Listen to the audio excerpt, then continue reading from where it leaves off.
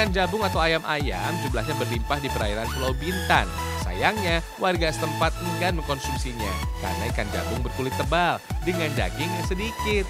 Alhasil, ikan jabung kebanyakan dimanfaatkan sebagai bahan pembuatan pentol bakso saja.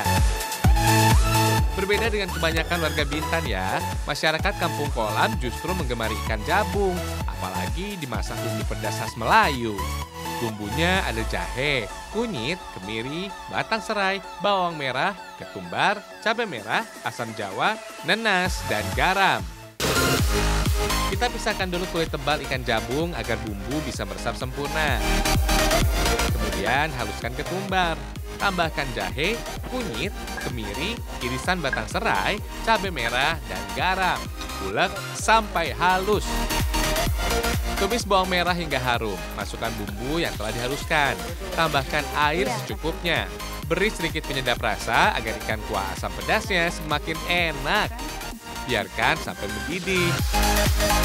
Baru deh masukkan potongan ikan jabung satu persatu. Kalau sudah mau matang, masukkan potongan nanas. Ikan jabung asam pedasnya siap dihidangkan. Seperti ikan laut pada umumnya, fans, ikan jabung mengandung protein yang tinggi, baik untuk meningkatkan stamina dan daya tahan tubuh. Rasanya gurih, berpadu, pas dengan bumbu rempahnya. Segar.